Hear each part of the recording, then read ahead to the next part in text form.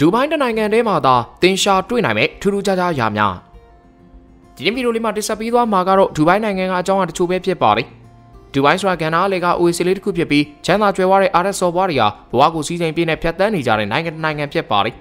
ခင်မီနီးပညာလည်းမြောင်များရှိပြီးတော့ချင်းသိခွေးရအစရှိတဲ့တောရိုင်းတရဝါတွေကိုပါအိမ်မွေးတိရစ္ဆာန်ဖြစ်တဲ့မွေးထားကြတဲ့နိုင်ငံနိုင်ငံလည်းဖြစ်ပါတယ်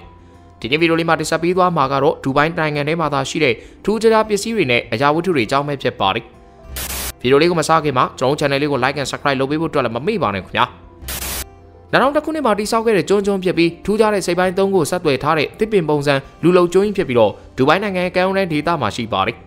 ဒီကျွန်းသုံးခုရဲ့နာမည်ကိုတော့ Pantera Island, Pangaea Island, Pangibelli Island တို့ပဲဖြစ်ပါတယ်ဒီကျွန်းသုံးခုဖန်တီးဖို့အတွက်မီလီယံတန်နဲ့ချီပြီးတော့ရှိတဲ့သဲတွေကိုအသုံးပြုထားပြီးအင်ဂျင်နီယာသမိုင်းမှာအန်ဝဲအကောင်းဆုံးဆောက်လုပ်ရေး project ပဲဖြစ်ပါတယ်။ Pangea ကျွန်းကကျွန်းသုံးကျွန်းထဲမှာအကြီးဆုံးဖြစ်ပြီးတော့ Palm tree ထမ်းပင်ရဲ့အရွက်ပုံစံဖန်တီးထားပြီးတော့ကြောတစ်ခုစီဟာလူတွေနေထိုင်တဲ့အိမ်ယာတွေရဲ့ဖြစ်ပါတယ်။ဒီကျွန်းကြီးထဲမှာဈေးဝယ်စင်တာတွေဖြော်ပြရေးနေရာတွေနဲ့ကမ္ဘာလဲခီးသွားတွေကိုဆွဲဆောင်မှုလုပ်ထားတဲ့နေရာတွေပါဝင်ပြီးတော့ဒီကျွန်းကိုဖန်တီးဖို့အတွက်ဒေါ်လာ73ဘီလီယံလောက်ကုန်ကျခဲ့လို့လည်းသိရပါတယ်။ဒီကျွန်းအာကာသဘောကနေတော့လမ်းမြင်နိုင်အောင်ကြီးမားပြီးကမ္ဘာမြေပုံထဲမှာပထမဆုံးပေါ်လာတဲ့လူလုံကျွန်းတူတစ်ခုလည်းဖြစ်ပါတယ်။ဒူဘိုင်းနိုင်ငံ drone တွေကိုတုံးပြပြီးလူတွေကိုကယ်တင်တဲ့ပထမဆုံးနိုင်ငံပဲဖြစ်ပြီးကမ်းခြေတစ်လျှောက်မှာ drone တွေကိုလွှတ်ထားကစောင့်ကြည့်စေပြီးတော့လူတွေတခုခုအန္တရာယ်ဖြစ်လာရင်ချက်ချင်းကိုတွားရောက်ကယ်ဆယ်မှုတွေပြုလုပ်ကြပါတယ်။ အရေးပေါ်နေတဲ့အသက်ကဘောကွင်းတွေချလိုအပ်တဲ့ပစ္စည်းတွေကိုချပေးပြီးကယ်ဆယ်ရေးဖွဲ့မလာခင်မှာမိမိကိုမိမိကယ်ဆယ်နိုင်အောင်အရင်ဆုံးကူညီပေးပါတယ်။ဒါပြင်ဒူဘိုင်းနိုင်ငံမြို့တော်ဖြစ်တဲ့ UAE မြို့မှာကားကောင်းစားတွေအများကြီးရှိတာကလည်းထူးခြားချက်တစ်ချက်ဖြစ်ပြီးကားကောင်းစားတွေများလုံးလို့လမ်းပိတ်တဲ့အထိပါပဲ။တင်ကြားမှုတဲ့ဘယ်အကောင်းစားကားမှဆိုပြောလိုက်ပါဒူဘိုင်းမှာမရှိတဲ့ကားမရှိပါဘူး။ဒါပြင်ဒီလိုကားကောင်းစားတွေကမှတစ်စီးလုံးရွှေပြည့်အုပ်ထားတဲ့တန်ဖိုးကြီးကားတွေရှိနေရပါဒါဒူဘိုင်းကလူချမ်းသာတွေရဲ့ကြွားဝါမှုတစ်မျိုးပဲဖြစ်ပြီးရွှေစစ်စစ်နဲ့လှုပ်ထားတဲ့ကားတွေလည်းရှိပြီးတော့ကားတစ်စီးလုံးတန်ကြေးဟာဒေါ်လာ9.5မီလီယံလောက်တန်ကြေးရှိပါတယ်။ ဗိုလ်ချမ်းသာတဲ့တရေတွေကတော့ကားကိုရွှေအုပ်တဲ့ပြင်စိန်တွေကိုပါစီပစ်ပြီးထဲလို့ရသမျှတန်မိုးကြီးကြောင်းမဲ့ရနာရီကုံလုံးကိုတက်ဆင်စီချဲကြပါတယ်လေစိတ်ဒီမှာရှိတဲ့လေရင်တိုင်းမှာတန်မိုးကြီးကားတွေအတွက်တည်သွားလို့ရမယ်ဂိုးတောင်တွေကိုလည်းထည့်ပေးထားပြီးတင်ပိုင်ဆိုင်တဲ့တင်ရဲ့အကောင်းစားကားတွေကိုဘယ်နေရာဖြစ်ဖြစ်တည်သွားနိုင်ပါပြီ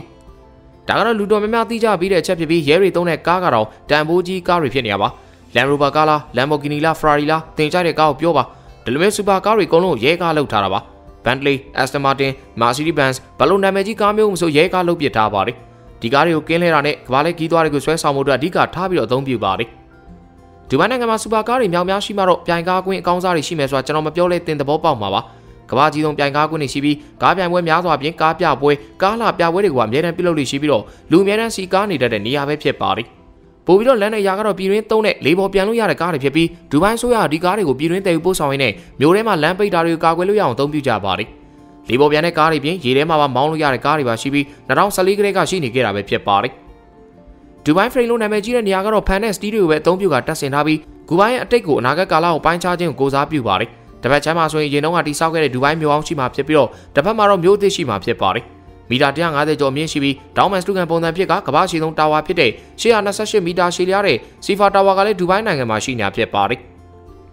2022ခုနှစ်မှာကျွန်တော်တို့က Grab တွေ taxi တွေကိုငှားရမ်းသုံးစွဲနေကြပေမဲ့ဒူဘိုင်းမှာကျွန်တော်ရဟရင်ကို taxi ဖြစ်နေငှားရမ်းသုံးစွဲလို့ရနေပါပြီ။ဒီနီလန်နဲ့ကားလမ်းပိတ်တာတွေကိုရှောင်ရှားလို့ရပါတယ်။2019ခုနှစ်ကတည်းကဒီ taxi project ကိုစတင်ခဲ့တာဖြစ်ပြီးခုဆိုတော့လက်တွေ့သုံးလို့ရနေပါပြီ။နောက်တက်မဲ့ဘရင်ဖြစ်လာမဲ့မင်းသားလေးဟန်တဲဘင်မိုဟာမက်အမက်ခန်ဟာတရားဝင်ဖွင့်လှစ်ပေးပြီးတော့ Air Taxi လို့ခေါ်ဆိုခဲ့ပြီးတခါစီးရင်လူနှစ်ယောက်စီးနိုင်ပါတယ်။လေးပေါ်မှာ90ကီလိုမီတာမြင့်မှာပြန်တန်းမှာဖြစ်ပြီးအမြန်နှုန်းအနေနဲ့တနာရီကိုကီလိုမီတာ1123ကီလိုတိမောင်းနိုင်ပါတယ်။ ဒီမြန်နှုံးနဲ့ဆိုရင်ဒူဘိုင်းကနေအဘူဒါဘီကိုမိနစ်ပိုင်းတွင်းမှာပြန်တန်းနိုင်မှာပါနောက်ထပ်လမ်းနဲ့နီးပညာတစ်ခုကတော့ရင်မောင်းမပါတဲ့ taxi ရဲဖြစ်ပြီး2020ခုနှစ်မှာတကဘာလုံးမိတ်ဆက်ပေးခဲ့တာပါအလိုလျောက်မောင်းနေတဲ့စနစ်ပါဝင်ပြီးတော့ဘေးပပတ်လဲကိုရေဒါတွေကင်မရာတွေတက်ဆင်ပေးထားပြီးရှိသမျှအရာအလုံးပုံဖော်ပြီးတော့မောင်းနေနိုင်မှာပဲဖြစ်ပါတယ်ဒီနေ့မှာဆိုရင်ရင်မောင်းမပါတဲ့ taxi ၅စီးကပြေးဆွဲနေနိုင်ပဲဖြစ်ပါတယ်စားတော့ဆိုင်တွေအကုန်လုံးကကျဲငါးပွင့်ဆင်ဖြစ်ပြီးတော့ဇင်ငံပစ္စည်းတွေရှိတဲ့နေရာမှာတော့ဒူဘိုင်းနိုင်ငံကိုဘယ်နိုင်ငံမှမမီကြပါဘူး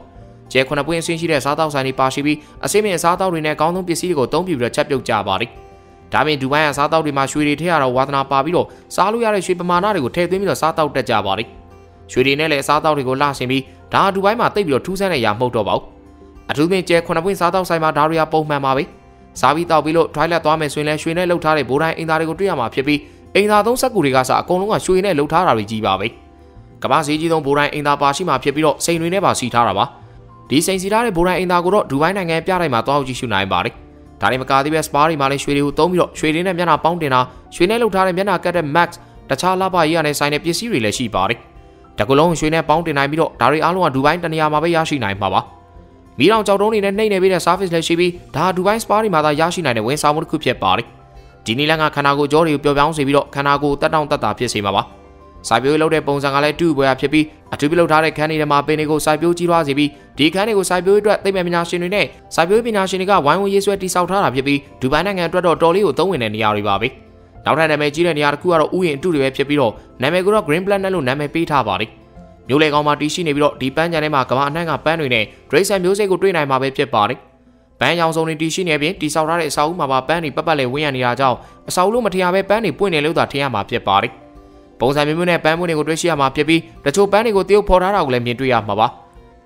ဒူဘိုင်းမှာရှိတဲ့ Butterfly Garden လို့ခေါ်တဲ့လိပ်ပြဥယျာဉ်ကလည်းလာအောင်လက်ပတ်သူများပြီးတော့လိပ်ပြဥယျာဉ်ဆိုတဲ့နာမည်နဲ့ညီလိပ်ပြပေါင်းစုံကိုတွေ့ရမှာပါလိပ်ပြတွေကိုအကောင်ဆုံး site စုံအရွယ်စားစုံတွေနဲ့မြင်တွေ့နိုင်ပြီးလူတိုင်းအတွက်သဘောကျစရာနေရာတစ်ခုဖြစ်လာမှာပါနောက်ထပ်တစ်နေရာကတော့ Love Lake လို့ခေါ်တဲ့အခြေရေအိုင်ပဲဖြစ်ပြီးတော့လူတွေတိဆောက်ထားတဲ့ရေအိုင်တစ်ခုပဲဖြစ်ပါတယ်။အကူဒါရီမှာတည်ရှိပြီးတော့အသေးပုံနှစ်ခုထပ်ထားတဲ့ပုံနဲ့ဒီရေကန်ဟာလောင်းလေပတ်သူတော်လေးကိုများပြားလှပါတယ်။ များသောအားဖြင့်အတွဲတွေပဲလာကြတာကြောင့်စင်ငယ်ဆိုတော့ဒီနေရာဝေးဝေးရှောင်တင်ပါတယ်ခင်ဗျာ။ဒူဘိုင်းနိုင်ငံမှာရှိနေတဲ့စာကြည့်လိုက်ပဲဖြစ်ပြီးတော်လေးကိုကြီးမားခမ်းထားတဲ့စောင်းကြီးတစ်ခုပဲဖြစ်ပါတယ်။စောင်းကိုလှန်နေတဲ့ပုံစံစောင်းဖြစ်ပြီးတော့ digital စောင်းပေါင်း1.5မီလီယံနဲ့ကလေးကစားကွင်းတွေပါရှိတဲ့စောင်းကြီးပဲဖြစ်ပါတယ်။အနာဂတ်ပြတိုက်လို့ခေါ်တဲ့ပြတိုက်ကိုလည်းတိစောက်ခဲ့ကြပြီးဒီပြတိုက်ထဲမှာဆိုရင်နုပညာသိပ္ပံပညာနဲ့အင်ဂျင်နီယာနည်းပညာတွေကိုလေ့လာနိုင်မှာဖြစ်ပြီးတော့တကယ်ကိုအနာဂတ်ရောက်သွားသလိုမျိုးခန်းစားနိုင်မှာပဲဖြစ်ပါတယ်။ စာအုပ်ပုံစံကိုကြည့်လိုက်တာနဲ့ဒီနည်းပညာဘယ်လောက်မြင်လဲဆိုတာကိုသိရှိနိုင်ပြီးတကယ်အနာဂတ်ကစာအုပ်လိုမျိုးခန်းစားနိုင်မှာပဲဖြစ်ပါတယ်။ဒူဘိုင်းမောကလည်းကမ္ဘာပေါ်မှာအကြီးဆုံးဈေးဝယ်စင်တာကြီးတစ်ခုဖြစ်ပြီးတော့ရေအောက်ပြတိုက်ကလည်းကမ္ဘာပေါ်မှာနာမည်အကြီးဆုံးပြတိုက်တစ်ခုပဲဖြစ်ပါတယ်။ကြီးမားတဲ့ရွယ်စားနဲ့စမ်းကြဲတဲ့တင်ဆက်မှုပုံစံကြောင့်နာမည်ကြီးလူကြိုက်များတာပဲဖြစ်ပါတယ်။တကယ်ကိုသမုဒ္ဒရာချမ်းမြေအောက်ကိုရောက်သွားသလိုမျိုးခံစားမှာဖြစ်ပြီးနောက်တစ်ချက်အနေနဲ့နှင်းတူကွင်းနေရှိတာကြောင့်ကန္နာအလေတဲ့တဲ့မှာနှင်းလျှော့ပါစီးလို့ရအောင်မှာပါဒါပြင်ပင်ကွင်းတွေပါတွေ့နိုင်အောင်မှဖြစ်တာကြောင့်ဒီနေရာဒူဘိုင်းမော်တွေမှာရှိပါတယ် ဒီညမှာဆိုရင်အပူချိန်အနှုတ်1ဒီဂရီထိရောက်အောင်ထားထားတာကြောင့်အချိန်ပြည့်အနှွေးတွေဝတ်ထားဖို့ကိုအကြံပေးချင်ပါတယ်ခင်ဗျာဒူဘိုင်းမြို့ကြီးကတိုးတက်မှုတွေအများကြီးရှိတာကြောင့်ဒီတိုးတက်မှုတွေထဲမှာတစ်ခုပါဝင်ဖြစ်တာကတော့တိတ်ပို့ဆောင်ရေးလုပ်ငန်းတွေပါပဲဘိုးဘော်ရထားတွေရှိပြီးတော့ရထားတွေကတတ်မှတ်ထားတဲ့လမ်းကြောင်းတိုင်းမောင်းသူမပါဘဲနဲ့လိုလျောက်ရွေးရှားကြပါတယ်ဒီရထားကနေတဆင့် Atlantic Hotel ကိုသွားရောက်လို့ရပြီးဒီ hotel မှာဆိုရင်ပင်လယ်ရှုခင်းကိုကြည့်ရှုနိုင်တဲ့အခန်းတွေပါဝင်အခန်းတွေများပြားကိုထည့်သွင်းပေးထားပါတယ်မိသားစုခန်းတွေဇိမ်ခံခန်းတွေပါဝင်ပြီးဒီခန်းတွေအကုန်လုံးကဈေးကြီးမယ်ဆိုတာအားလုံးလည်းသိလောက်ကြမယ်လို့ထင်ပါတယ် ရေအောက်ကဟိုတယ်ဖြစ်တာနဲ့ညီတကယ်ကိုပဲရေအောက်မှာတိစောက်ထားတဲ့ခန်းတွေပါရှိပြီးတော့ဟိုတယ်တစ်ဝက်လောက်ကရေအောက်မှာစောက်ထားတာဖြစ်တဲ့အတွက်ဒီခန်းတွေကိုသွားမယ်ဆိုရင်ရေအောက်လိုင်ကောင်းတွေကတစ်ဆင့်ဖြတ်သွားမှာဖြစ်ပါတယ်ဒီဟိုတယ်ကဘာမှအထူးခြားဆုံးဟိုတယ်တစ်ခုဖြစ်ုံသာမကပဲဈေးကြီးဆုံးဟိုတယ်တွေကတစ်ခုလည်းဖြစ်ပါတယ်တရက်ကိုဒေါ်လာ9500လောက်ကျတာကြောင့်တုံလူတွေအနားမကတ်နိုင်တာသိချပါပြီ။ ARS Hotel ဆိုရင်ကမ္ဘာပေါ်မှာဇင်ကန်ပစ္စည်းတွေအများဆုံးနဲ့ဇင်အကြဆုံးဟိုတယ်တစ်ခုဖြစ်ပြီးဒီဆောင်မှုဒီဇိုင်းကခန်းတောင်းတွေမကဘဲဝန်ဆောင်မှုတွေကပါကြီးကျယ်ခန်းထားနေတာပါ။ လာပါတဲ့ရှူကင်းတဲ့မြင်ကွင်းတွေကြောင့်ကမ္ဘာတိုင်းကခီးသွားတွေကိုဆွဲဆောင်နိုင်ပြီးတညောင်ဒေါ်လာ1000နေစရှိပါတယ်။ဒေါ်လာ1000ဆိုတာဈေးအနည်းဆုံးပါပဲ။လေပေါ်မှာထိုင်ပြီးတော့အကင်စားလို့ရတဲ့လေတွေရှိပြီးဒူဘိုင်းမှာတော့တော်လေးလူကြိုင်များပြီးတော့ရေပန်းစားတဲ့ပန်းဖြေနေတစ်ခုပါပဲ။လူဆယ်ယောက်စာဝိုင်းပြီးတော့ထိုင်လို့ရတဲ့နေရာရှိပြီးမြင်တွေ့ရတဲ့အတိုင်းအေးအေးဆေးဆေးပန်းဖြေနိုင်နိုင်မှာပဲဖြစ်ပါတယ်။အေးဆေးရှိုံသာမကပဲအကောင့်တကအကောင်းဆုံးအသားတွေကိုလည်းရရှိနိုင်မှာဖြစ်ပါတယ်။နိုင်ငံတော်များများမှာ ATM ဆက်တွေကပတ်စံထုတ်လို့ရအောင်ပဲဆိုပေမဲ့ဒူအိုင်းက ATM ဆက်တွေကတော့ရွှေပါထုတ်လို့ရပါတယ်။ လူချမ်းသာတွေကတော့အိမ်မွေးဒရိတ်ဆန်ဖြစ်ခွေးတွေကြောင်တွေစိတ်ဝင်စားပဲကြားတွေချင်းသေးတွေကိုပဲအိမ်မွေးဒရိတ်ဆန်ဖြစ်စိတ်ဝင်စားကြတာပါ။ဒရိုင်းဒရိတ်ဆန်တော်များများကိုမွေးမြူတတ်ကြပြီးတချို့စင်ဒရိတ်ဆန်များပြားနဲ့ကိုပိုင်ဒရိတ်ဆန်ရုံတော်မှာထောင်ထားနိုင်တဲ့အထိကိုချမ်းသာကြွယ်ဝကြပါတယ်။ဒူဘိုင်းအနောက်24ခုနှစ်အတွင်းမှာကမ္ဘာပေါ်မှာအလှပဆုံးဖြစ်တဲ့မီးပန်းတွေကိုဖောက်ပြခဲ့ပြီးကမ္ဘာဆိုင်ကြီးမှာချိုးခဲ့တာပါ။6မိနစ်အတွင်းမှာမီရှူမီပန်းအခုပေါင်း3.5မီလီယံလောက်ထိကိုလွတ်တင်ခဲ့တာဖြစ်တာကြောင့်ကမ္ဘာဆိုင်ချင်းချိုးသွားတယ်လို့ပြောရမှာပါဒူဘိုင်းကလေဆာရှိုးကလည်းဆိုင်ချင်းတင်ခဲ့ပြီးတော့အမြင့်ပေ893မီတာအမြင့်ထိကိုရှိခဲ့တာကြောင့် ကမ္ဘာမှာအကြီးဆုံးနဲ့အလှဆုံးရှိုးတစ်ခုလို့တင်စားခေါ်ကြတာလေမမှားဘူးလို့ကျွန်တော်ကတော့ယူဆမိပါတယ်ခုဆိုရင်ဒူဘိုင်းမှာယာတီလူပါထိန်းချုပ်ထားလို့ရတဲ့မြို့တစ်ခုကိုတိစောက်တော့မှာဖြစ်ပြီးဒီမြို့ကိုတော့ The Mall the Wall လို့နာမည်ပေးထားပါတယ်။အကျယ်ပေါင်း2သိန်းနဲ့8000မီတာစကွဲအကျယ်တိစောက်မှာဖြစ်ပြီးတော့ဒီထဲမှာဆိုရင်ဟိုတယ်ခုပေါင်း800နဲ့သုံးပါဝင်မှာဖြစ်ပြီးတော့လောက်လေပတ်သူပေါင်း180မီလီယံထိလူဦးရေဝင်ဆက်မယ်လို့သိရပါတယ်ဆာဖာရီကန်နာရလေဘက်ခီးစဉ်ကလည်းကမ္ဘာပေါ်မှာအလန်းဆုံးခီးစဉ်ဖြစ်ပြီးတော့တဲကန်နာထဲမှာရှောက်လျာမှာဖြစ်ကတဘာဝအိုအေစစ်နေရာတွေကိုတောက်လေပတ်မှာပါ ဒါအပူမှာတေချာတဲ့အတွက်ကျွန်တော်ကတော့သဘောမကျပါဘူးကလုတ်တွေကိုစီးလို့ရမယ့်စီစဉ်တွေပါရှိပြီးတချို့ပန်းဖြေမှုတွေကိုလူကိုယ်တိုင်လှုပ်ဆောင်မှာပဲဖြစ်ပါတယ်ဒူဘိုင်းမကောင်းတဲ့ချက်ကတော့စင်းရဲချမ်းသာကွာမှုကြီးလွန်းတာဖြစ်ပြီးတစ်ဖက်မှာလမ်းပြန်ထွက်နေတဲ့စာအုပ်တွေကများပြားသလိုခြားတစ်ဖက်မှာလည်းတိမ့်တာတာနေရာတွေလည်းရှိပါတယ်။လူစင်းရဲတွေအများစုကတော့ရွှေပြောင်းလုပ်သားတွေနဲ့စင်းရဲတဲ့ဒေတာကနေဖြစ်ကြပြီးအိမ်သားနဲ့ရေချိုးဖို့ကောင်ခက်ခဲဖြစ်တဲ့အထိစင်းရဲချမ်းသာကွာမှုအားကြီးလွန်းတာဖြစ်ပါတယ်။ စူပါကားတွေရှိသလိုဘတ်စကားဟောင်းကြီးတွေနဲ့လိုက်သွားနေရတဲ့သူတွေလည်းရှိပြီးအပူချိန်90ဒီဂရီအောက်မှာအန်တုပြီးတော့လှုပ်လှုပ်နေရတဲ့လုပ်သားများပြားလည်းရှိနေတာဖြစ်ပါတယ်။ဥပဒေတင်းကျပ်တဲ့နိုင်ငံဖြစ်ပြီးတော့လူလဲကောင်းမှအရက်တောက်လို့မရပါဘူးဖောက်ပြန်မိတဲ့ကဘာလဲခီးသွားတွေကိုတော့ဒူဘိုင်းဆိုကအတော်များတဲ့ငွေကြေးပမာဏတစ်ခုဒဏ်ရိုက်တက်ပါတယ်ကဘာပေါ်ကအချောလာတော်တော်များများလဲဒူဘိုင်းကစော်ဘွားတွေရဲ့အမြောင်များဖြစ်တင်ကြပြီးလွတ်လပ်လပ်နေကြကြသလိုဒေသခံမျိုးသမီးတွေကတော့ဘာသာရေးရဲ့တင်းကျပ်တဲ့တားမြစ်မှုတွေအောက်မှာနေထိုင်နေရတာဖြစ်ပါတယ်ခင်ဗျာ ဒီနေ့ဗီဒီယိုလေးကတော့ဒီလောက်ပါပဲဗီဒီယိုလေးကိုဆုံးဖြတ်ကြည့်ပေးတဲ့အတွက်အားလုံးကိုကျေးဇူးတင်ပါတယ်